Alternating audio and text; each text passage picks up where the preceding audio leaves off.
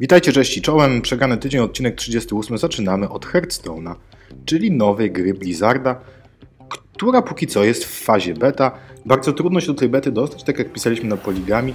Można w sieci znaleźć aukcję na przykład za 600 zł. Jeżeli to jest prawda, no to ktoś nieźle zapłacił za to, żeby pograć sobie w nową karciarkę od Blizzarda.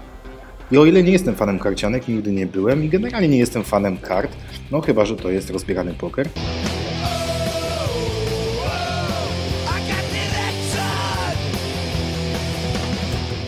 to Hearthstone mnie wciągnął.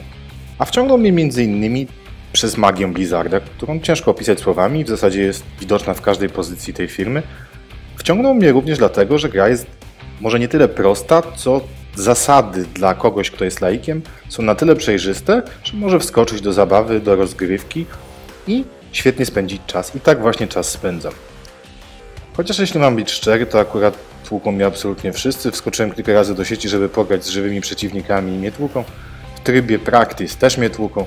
Także muszę się chyba przyzwyczaić i zacząć wreszcie dobrze liczyć karty, bo podobno, jak mówi Marcin Young w Hearthstone, liczy się przede wszystkim matematyka, a dopiero później gdzieś tam strategia. No i oczywiście zapewne liczy się też dobre ułożenie kart we własnym deku, ale do tego też muszę dojrzeć i muszę się zapoznać z zasadami, zaawansowanymi zasadami jakimi rządzi się Hearthstone, żeby faktycznie później móc trochę porządzić w sieci. No nie zamierzam przestawać i to jest w tej grze fajne, że pomimo tego, że dostaję łupnia, to wracam i znów dostaję łupnia.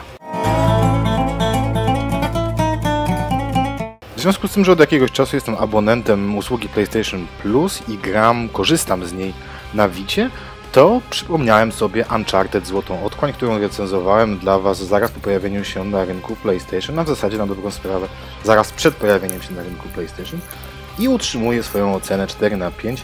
Jest to zdecydowanie śliczna gra z bardzo fajną mechaniką, ale nie pozbawiona błędów, które pomimo upływu czasu wciąż rzucają się w oczy. I na przykład jest kilka takich momentów, mam nadzieję, że nie zaspoiluję, jak chociażby ucieczka przed zaminowanym, czy w zasadzie zabombowanym miejscem, gdzie będziecie ginąć tylko wyłącznie dlatego, że gra w jakiś dziwny sposób źle coś policzyła przy kolizji obiektów i po prostu się zatniecie. To jest oczywiście nie fajne, no ale generalnie Uncharted Złota Otchłań to bardzo fajny tytuł, który pokazuje w dużej mierze możliwości Wity nie tak mocno jak Killzone Najemnik, ale wciąż bardzo mocno i wtedy przy premierze robiło wizualnie świetny efekt i rzucało na kolana. Tak i teraz dalej ten efekt jest bardzo duży i gra warta pogrania, a gram dlatego, żeby przejść ją sobie na własnej konsoli, wtedy grałem na redakcyjnej, no i wiadomo, pyknąć sobie trochę trofeów. Ale to wszystko tak na dobrą sprawę tylko zapełniacze tego wolnego czasu, którego zresztą też nie mam ostatnio zbyt wiele, a zapełniacze przed przyszłym tygodniem, czyli premierą GTA 5. Przyznam się szczerze, przyznawałem się już wcześniej, że GTA to jest moja ulubiona seria gier. Grałem we wszystkie, jeszcze do dziś pamiętam jak cisnąłem mocno w demo pierwszego GTA zanim dorobiłem się pełnej wersji gry. To było demo z ograniczeniem czasowym, więc trzeba było sobie je włączać jeszcze raz. No i czerpałem przyjemność nie tylko z misji, tych kilku czy jednej, już nie pamiętam ile ich tam było, ale z jeżdżenia po świecie, z rozjeżdżania, jakkolwiek to brzmi, przechodniów. No i później towarzyszyłem tej serii, miałem GTA 2, które już faktycznie było lepsze od jedynki, ale już nie było takiego efektu wow. A tak naprawdę taki prawdziwy efekt wow przeżyłem na drugim roku studiów, kiedy zmieniłem komputer i wtedy właśnie pojawiło się GTA 3, które totalnie rzuciło mnie na korana i do dziś to jest moja ulubiona część serii. Później było Vice City, później było San Andreas. To były fantastyczne gry. No już nie robiły na mnie takiego dużego wrażenia jak trzecia część, dlatego że ona była inna, ale wciąż były to fantastyczne gry i są jednym z moich ulubionych gier. Później był Xbox, później było GTA 4, które również według mnie jest fantastyczną pozycją. Przez wiele osób docenioną, przez wiele osób uważaną za, za przyhypowaną.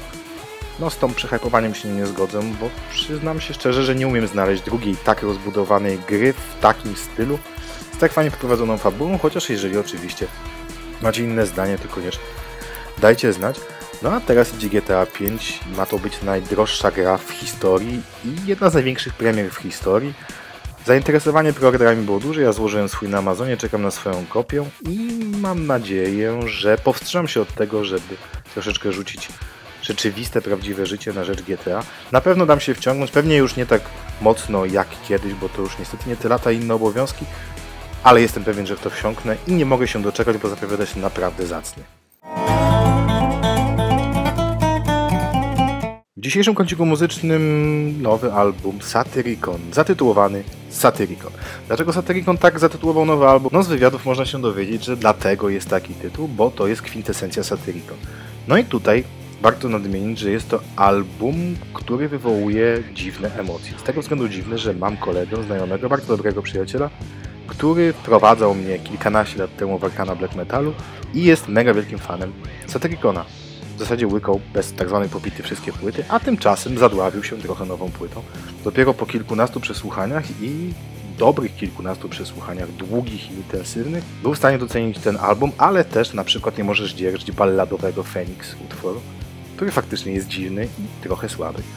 Natomiast takie kawałki jak na przykład Necro Haven to jest kwintesencja faktycznie Satyricona, taki black and roll, który oczywiście już z takim typowym black metalem nie ma zbyt wiele wspólnego, no ale Satyricon sam już nie ma z takim typowym black metalem zbyt wiele wspólnego. Koniecznie sprawdźcie ten album, jest czego słuchać, musicie wyrobić sobie o nim zdanie, musicie dać mu szansę i przede wszystkim przesłuchać go przynajmniej kilka razy, bo również mi nie wszedł poza kilkoma utworami przy pierwszym przesłuchaniu, a brzmi o tyle fajnie, że Satyricon ostatnio bardzo mocno podkreśla, że jest to album nagrany całkowicie analogowo i bardzo chciałby, żeby tego typu muzyka wróciła do korzeni, jeżeli chodzi o brzmienie. Przy dzisiejszych możliwościach da się nagrać bardzo czysto i bardzo dobrze i bardzo przejrzyście pod kątem audio nowe albumy i nie trzeba się wspierać tymi wszystkimi technicznymi nowinkami, jak chociażby triggery czy milion komputerowych efektów nałożone na gitarę. No faktycznie jest to organiczna płyta, brzmi bardzo organicznie, bardzo dobry krążek, szczerze polecam. No i do zobaczenia, w zasadzie usłyszenia, a może zobaczenia w przyszłym tygodniu. Jeżeli oczywiście będziecie mieli siłę i odejdziecie od GTA 5. No i ja odejdę. Mam nadzieję. Trzymajcie się, cześć.